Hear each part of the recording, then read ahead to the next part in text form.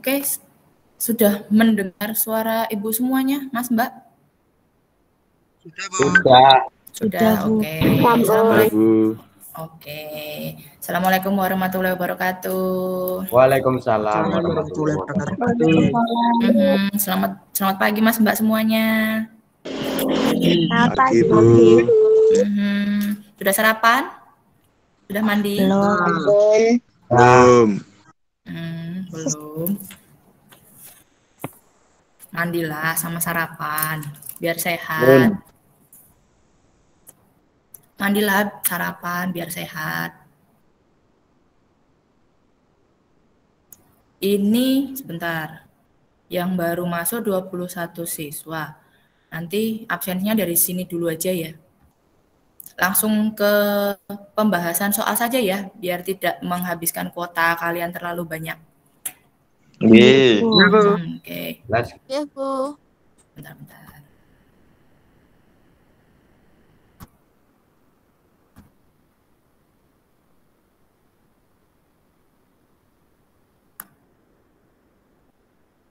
Sudah bisa terlihat? Belum? belum. Bentar-bentar. Ah,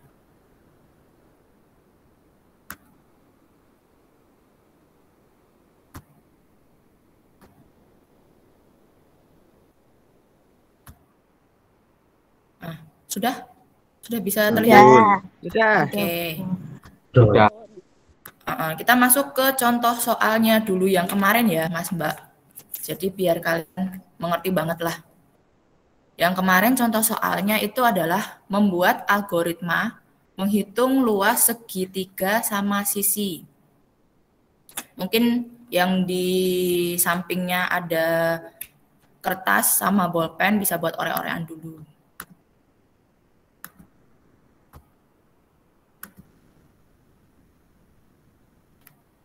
Ingat untuk rumusnya dari luas segitiga sama sisi itu kan luas itu setengah kali alas kali tinggi. Nah, berarti awalannya kita harus mengetahui terlebih dahulu inputnya itu apa, prosesnya seperti apa, dan juga outputnya seperti apa. Nah, yang input itu terdiri dari variabel. Nah, variabelnya di sini, kalau untuk menghitung luas segitiga sama sisi, itu kira-kira ada berapa variabelnya? Ada yang bisa jawab? Mas Mbak? Atau yang harus diketahui dulu lah input itu maksudnya? Tiga, Bu. Hmm, Oke, siapa itu tadi yang tanya? Eh, yang menjawab? Risela. Ah, Risela. Risela. Oke. Ada, la- ada lagi yang mau menjawab? Misal, oh ya, pertanyaan dulu ya. Tiga variabelnya itu apa saja? Luas. Mm-mm. Ini Mbak Risela lagi. Oke, Bu. Oke. Terus apa lagi Mbak? Tinggi. Mhm. Terus sama. Alas. Oke. Nah, itu ada tiga kan itunya. Jadi untuk mengetahui luas segitiga sama sisi itu yang pertama kali harus diketahui itu kan alasnya dulu. Alasnya ada berapa itu baru diketahui. Terus tingginya itu ada berapa juga harus diketahui baru bisa mencari luas. Itu inputnya. Terus untuk proses. Proses itu berarti masukkan nilai alas segitiga. Karena kan tadi kan variabelnya ada tiga, yaitu luas, tinggi, dan juga alas. Berarti kita kan harus mengetahui dulu alasnya itu berapa sentimeter. Alasnya itu berapa sentimeter dulu. Terus setelah alas baru tingginya. Tingginya dari segitiga itu berapa. Nah, nanti setelah ketahuan dari alasnya ketahuan diketahui, tingginya juga diketahui, berarti kan bisa mencari luasnya. Berarti yang proses itu adalah masukkan nilai alas segitiga.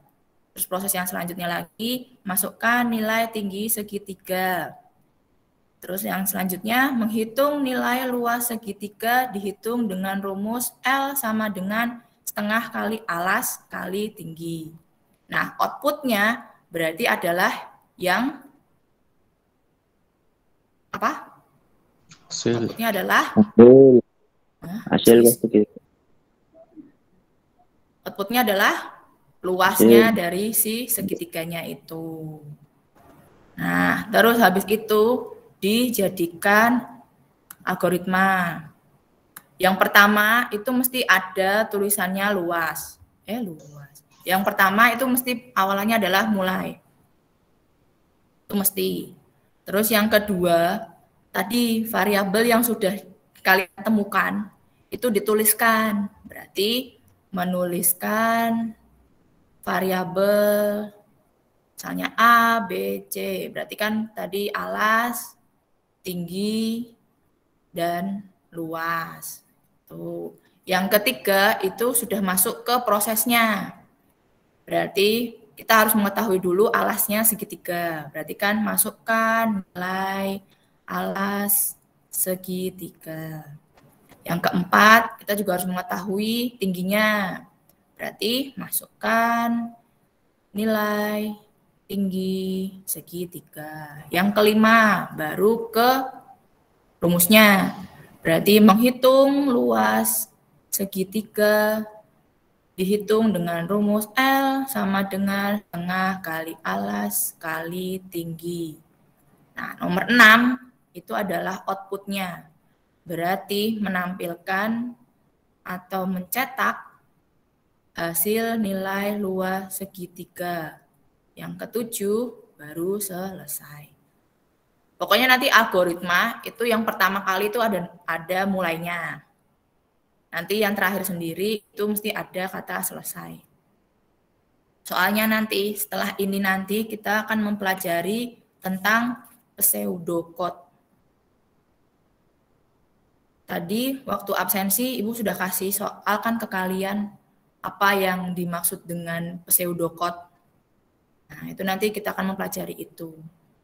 Nah, baru setelah pseudocode baru ke flowchart.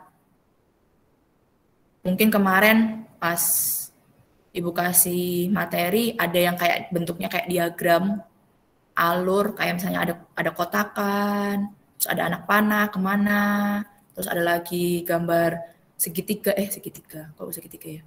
Jajaran genjang, terus nanti ada lagi gambar panah, itu kan. Nah, itu namanya ada flowchart atau diagram alur. Sudah paham sampai di sini untuk contoh soalnya yang kemarin Ibu berikan? Sebelum kita masuk ke soalnya yang Ibu berikan kemarin 4. Halo? Mas Mbak? Masih ada di situ? Masih, Bu. Oh ya. Sudah paham? dari contoh soalnya ini? Bang. Oke. Nanti untuk contoh soalnya ini nanti ada pertanyaannya. Nanti kalian tinggal jawab gitu ya. Nanti dari jawabannya kalian ada nilainya tambahan gitu ya. Selanjutnya, yang luas persegi. Soalnya yang kemarin.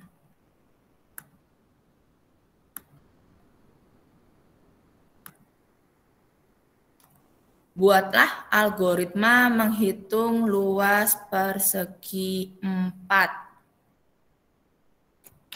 Oke, luas persegi 4 itu rumusnya apa, Mas, Mbak?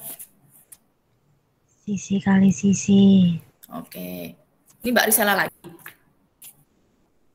Iya, Bu. Yang lainnya pada ke mana ini? Masih di sini, Bu. Oh, masih di sini. Siapa itu? Yang masih di sini sini siapa, Mas? Pak Rezi. Hah? Pak Rezi. Hmm. Oke. Tadi luas persegi itu adalah sisi kali sisi. Nah, ada berapa variabel untuk menghitung luas persegi 4? Siapa yang mau menjawab?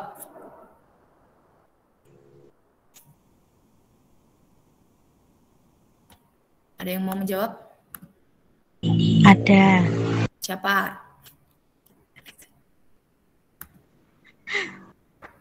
Risela lagi. Iya Bu, Frisela aja Bu. Saya, yang lainnya pada ke mana ini? Ayo Fahrezi, coba jawab Pak, Mas.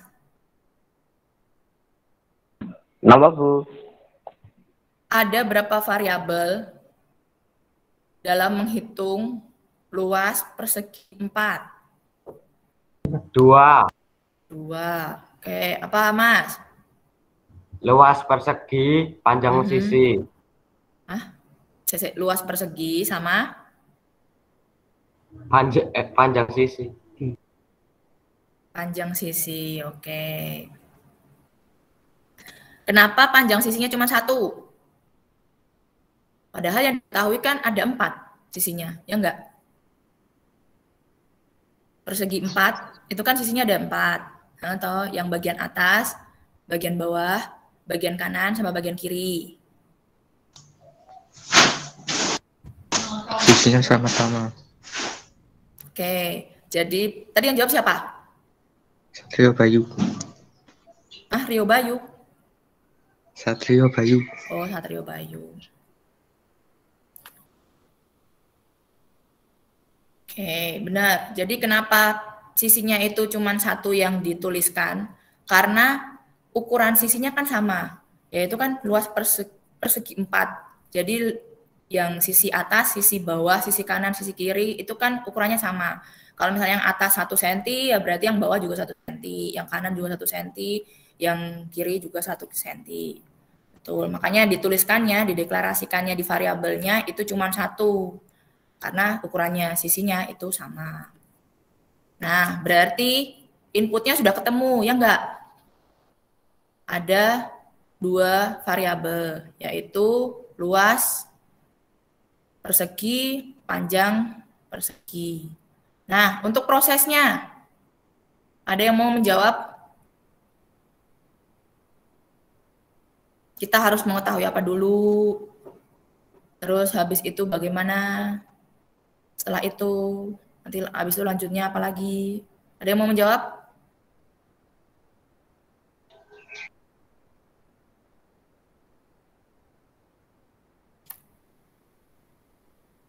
Halo, Mas Mbak? Ini nanti kalau pas tatap muka apa ya pada meneng-menengan kayak gini toh?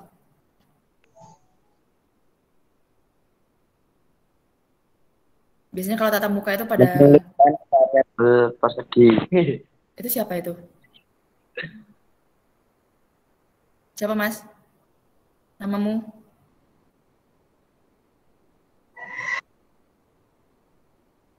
Tadi. Halo? Yang tadi jawab siapa ya?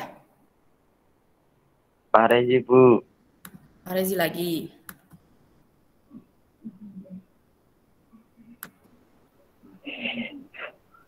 Apa Mas? Prosesnya?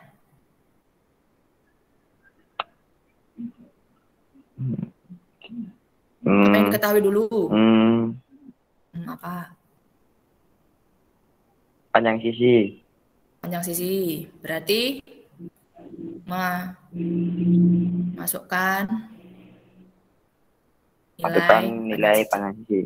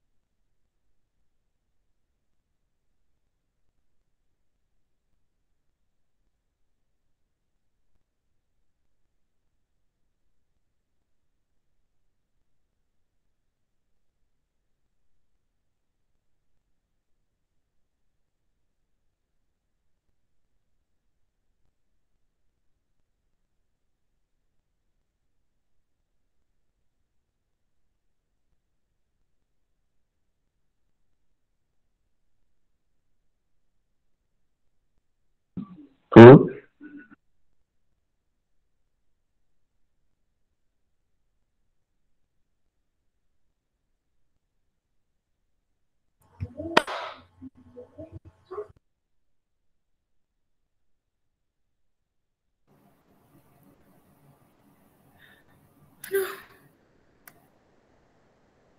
Aduh. Sinyal aku yang mati.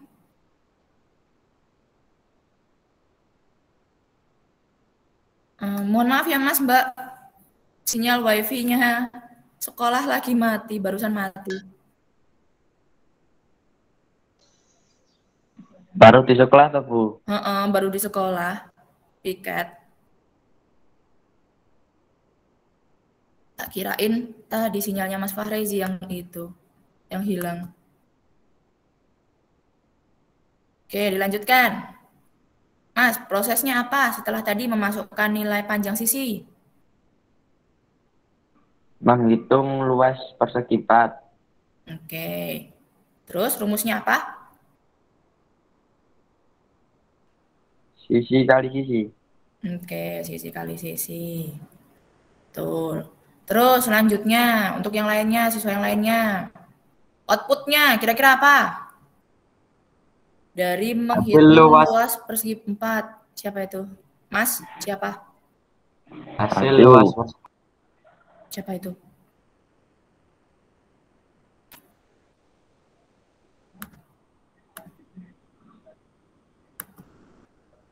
Hasil. Luas. Pak Rezi lagi. Nggak tahu Bu. Tadi ada yang jawab kok. Oh, oleh siapa? Soalnya tadi yang angkat tangan baru Farezi. Yang lainnya? Tadi kayaknya bukan kok. Ya, Naufal bu kayaknya bu. Oke, yo Naufal, apa Mas? hasil luas persegi Hasil luas persegi. Oke, benar. Banyak. Untuk algoritmanya dari menghitung luas persegi 4 itu ada 6. Yang pertama itu mulai. Terus yang kedua menuliskan variabel luas persegi 4-nya itu atau L. Terus sisi persegi 4 itu S. Yang ketiga masukkan nilai sisi persegi 4. Yang keempat tadi prosesnya tadi menghitung luasnya dengan rumus L sama dengan sisi kali sisi. Yang kelima menampilkan luasnya atau outputnya yang keenam selesai. Sudah sesuai dengan jawabannya kalian kemarin? Sudah. Alhamdulillah. Selanjutnya untuk keliling persegi. Yuk siswa yang lainnya pada ke mana ini?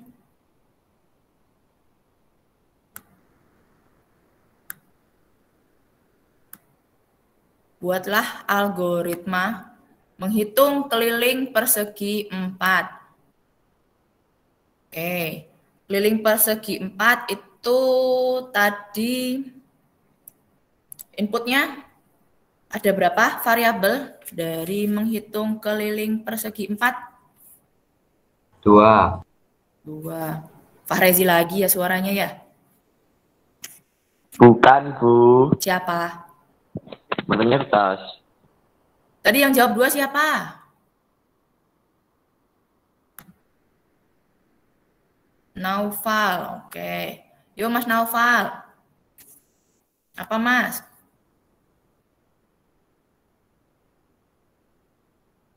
Halo? dua Dua. Apa saja Mas Naufal? keliling persegi Mhm. sisi persegi Oke. Terus untuk prosesnya apa? Apa saja untuk proses menghitung keliling persegi panjang? masukkan nilai persegi Oke, masukkan nilai persegi. menghitung keliling persegi Nah, menghitung keliling persegi. Dimasukin nggak rumusnya? empat kali S Nah, Masuk. Hmm, dimasukkan. Mas Nova lagi ya?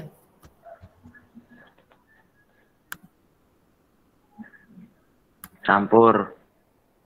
Campur. Siapa masih dicampur? Pak Rezi sama Naufal. Jangan jadi satu ini jangan-jangan.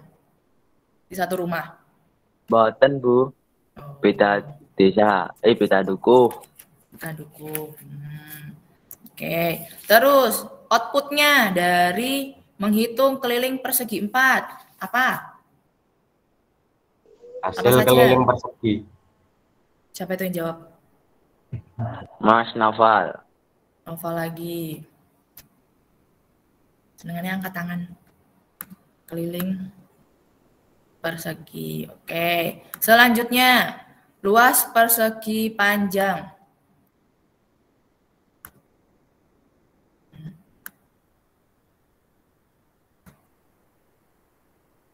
Buatlah algoritma menghitung luas persegi panjang.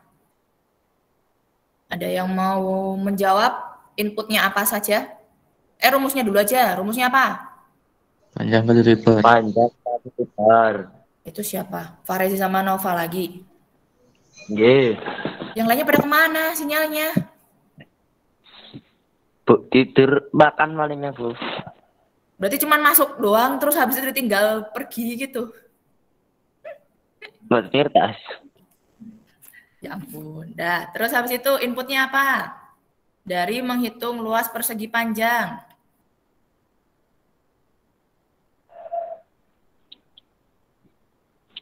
Luas persegi panjang, Mm-mm, panjang panjang persegi panjang, Mm. lebar lebar persegi panjang. Oke, siapa yang jawab itu? Mas Naufal ya? Pak Rezi. Oh, suaranya kok hampir mirip toh. Oke. Terus, untuk prosesnya, apa saja yang dibutuhkan? Masukkan nilai panjang persegi panjang. Oke, Mas Naufal. Masukkan. Selanjutnya, apa lagi Mas Naufal? Masukkan nilai luas persegi panjang. Mhm, Terus, habis itu? Menghitung nilai luas persegi panjang. Mhm. Hitung Terus dengan lanjut. rumus L sama dengan Hmm. P kali L. Oke, benar. Terus, outputnya kira-kira apa? Hasil luas persegi panjang. Nova lagi? Yoi. Oke. Selanjutnya, berarti algoritmanya sama. Ini berarti yang online cuma tiga siswa saja, Risel, Mbak Risela, Mas Fahrezi, sama Mas Naufal. Yang lainnya sarapan.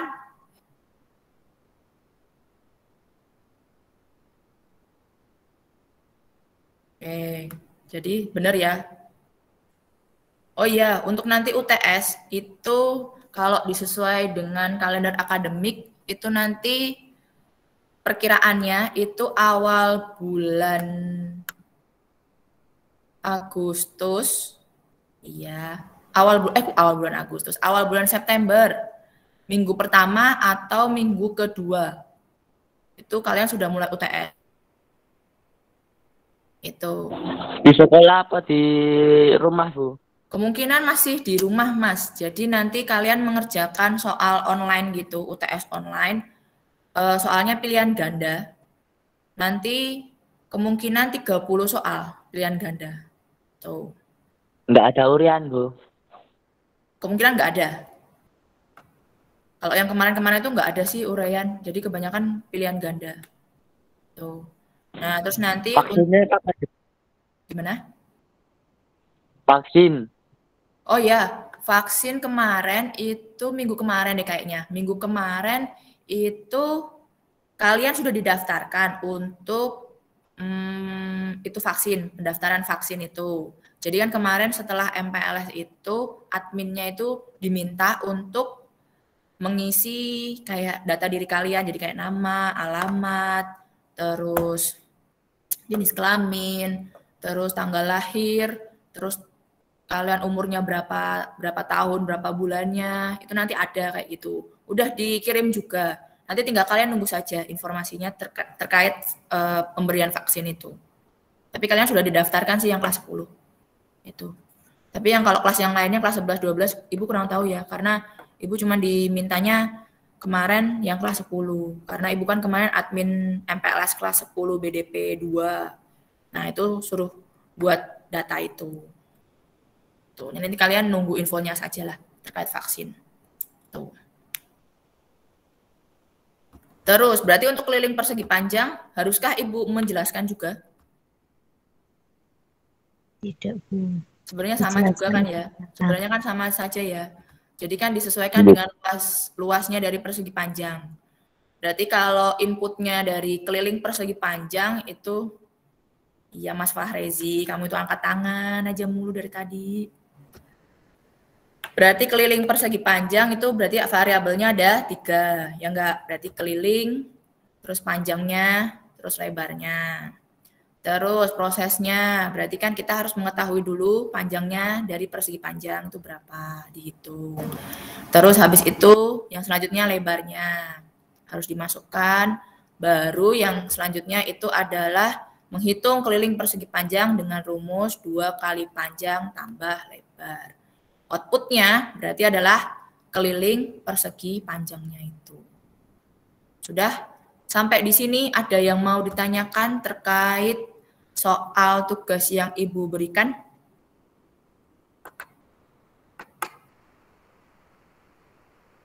Halo? Mbak Risela? Tidak, Bu. Tidak. Oke, Mas Fahrezi? Boten, boten, boten. Oke, Mas Satrio Bayu? Oke, oke. Bu. Terus Mas Naufal? Enggak. Enggak. Hmm. Yang lainnya, yang mau ditanyakan tidak? Enggak. Langsung itunya tidak gitu. Terus bagi kema ini kan tadi kalian mengirimkan soal tugasnya kalian itu kan ke baru tadi pagi ada beberapa yang baru mengumpulkan. Jadi belum bisa Ibu rekap. Gitu kan. Jadi bagi siswa yang belum mengumpulkan soal tugasnya yang ini, nanti Ibu kasih soal tugas yang berbeda. Dah, Yang belum, Bu. yang belum. Lah ya, yang belum. Oh. Oh. Lah, nggih. yang belum mengerjakan atau mengumpulkan soal tugasnya yang Ibu berikan ini, nanti soal tugasnya itu nanti Ibu berikan setelah ini nanti di WA. Soalnya beda. Karena nanti mesti Khusus yang- kutunya beda. Tuh. Nanti Khusus yang belum tadi. Khusus yang belum. Khusus yang Oke. belum mengerjakan dan mengumpulkan soal tugasnya ini. Soalnya tadi pas Ibu di jalan juga ada beberapa yang itu apa baru mengumpulkan, jadi belum bisa Ibu rekap semuanya. Itu.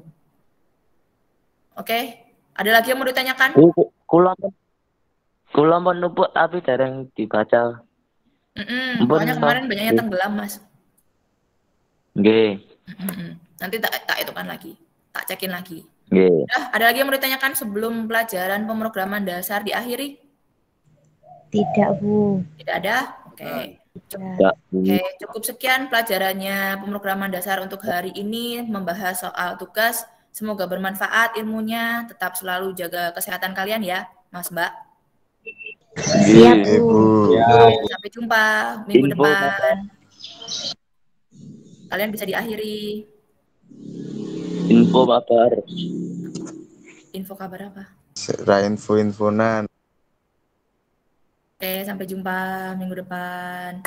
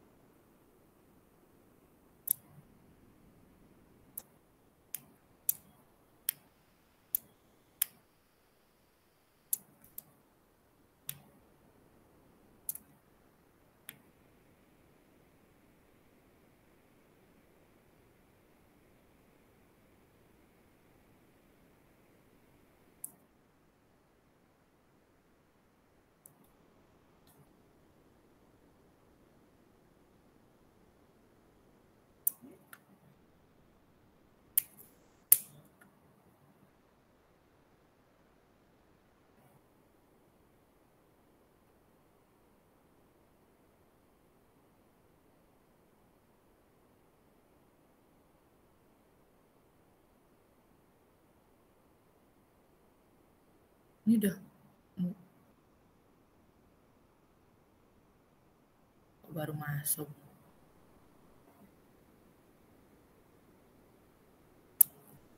Selesai kok.